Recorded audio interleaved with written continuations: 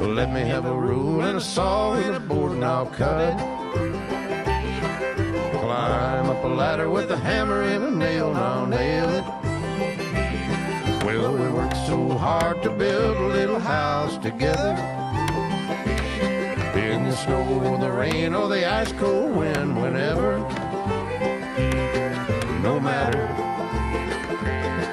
Any weather, we're together.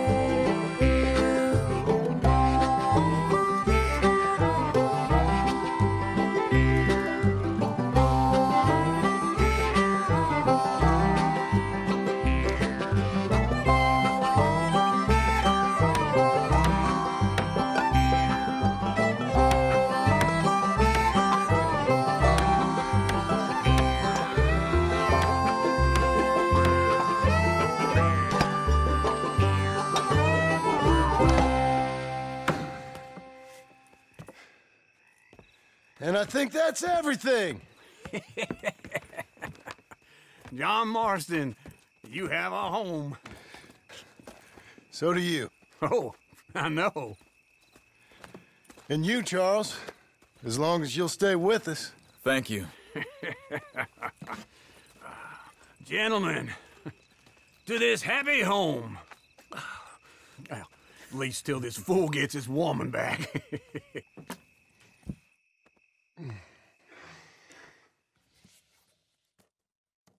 My darling Abigail, I hope you and Jack are doing well. I remain a fool, and I'm sure I shall die a fool. But I'm trying very hard to be something like the man you deserve. I have done something very silly in an effort to impress you. And that is, I've purchased a home.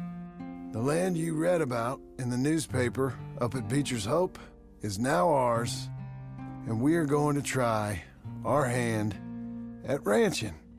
Mr. Geddes kindly helped me buy the land. I met Uncle while I was coming out of the bank, and while I know your feelings about him, he has been enormously helpful in his own fashion. Charles Smith has also appeared and is unsurprisingly a pillar of strength. Together, we've built you a home. I hope soon to show it to you. I miss you and the boy more than I can express. Please, come back to me. Yours always, John.